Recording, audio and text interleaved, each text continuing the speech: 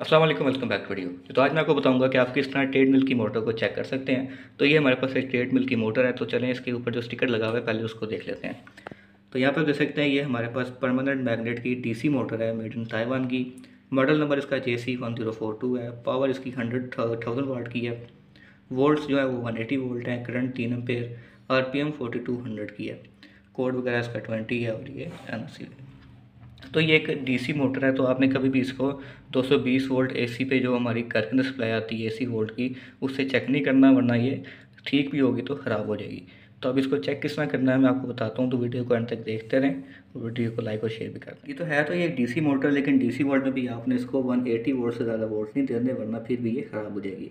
तो इसको सिर्फ़ चेक करने के लिए कि ये ठीक है, या ख़राब, आप 12 वोल्ट का यूज़ कर सकते हैं, जो बाइक की बैटरी होती है, उसका यूज़ कर सकते हैं।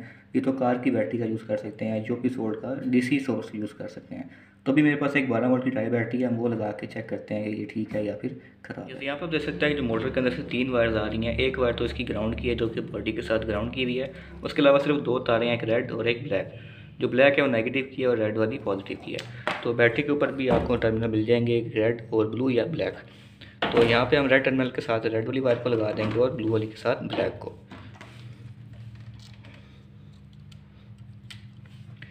तो जैसे ही हम ब्लैक के साथ लगाते हैं, लगाएँगे तो मोटर को चलना चाहिए। तो देखते हैं मोटर हमारी ठीक है या ख़राब है।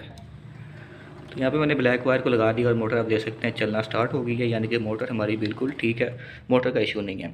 तो इस तरह से आप ट्रेडमिल की मोटर को चेक कर सकते हैं। वीडियो अच्छी लगी तो वीडियो को लाइक करते हैं चैनल को सब्सक्राइब कर लें। मिलता हूँ किसी वीडियो में, तब तक के लिए अल्लाह हाफिज़।